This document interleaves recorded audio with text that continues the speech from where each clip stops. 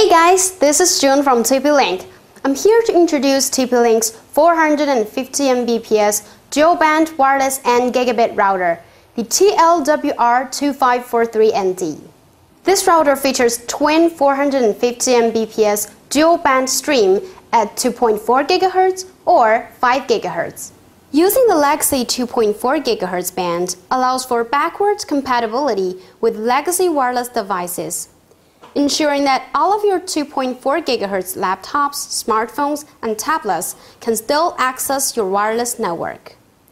While the 5 GHz band allows for much clearer wireless signals without interference that can occur over the 2.4 GHz band, which is ideal for lag-sensitive applications such as HD video streaming and online gaming. Its 3x3 MIMO antennas also give this router faster speed and improved Wi-Fi coverage. At the back of the router, you'll find a multifunction USB port. With the router's versatile multifunction USB port, you can share a printer, camera, or storage across the local network.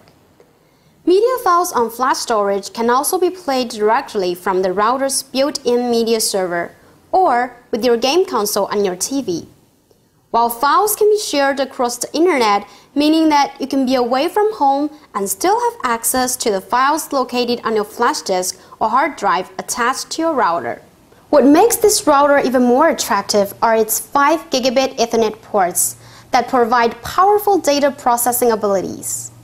Besides all the features above, this 450 Mbps dual band router also features IPQoS, one button security setup, and is very easy to use.